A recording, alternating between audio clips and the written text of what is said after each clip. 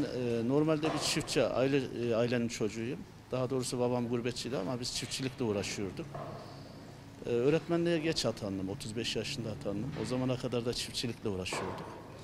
Ee, Atanınca da kopamadık. Devam ettirdik. Biraz daha ilerleyelim dedik. Şükür bu duruma geldik. Ee, 2020 yılında biz ilk müracaatımızı yapmıştık. 2021 yılında, e, 2020'nin sonunda onaylandı. 2021 yılında inşaata başlamıştık.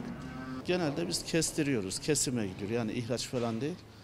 Ee, ticaret de değil. Alıyoruz, besliyoruz.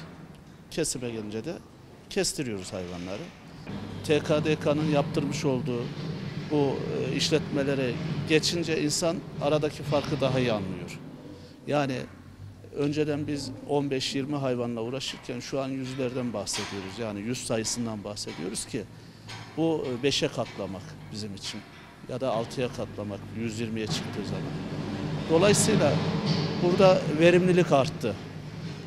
Aynı zamanda döngü hızlandı kayıplarımız azalıyor. Özellikle yani kış günü düşünün böyle derme çatma yerlerde.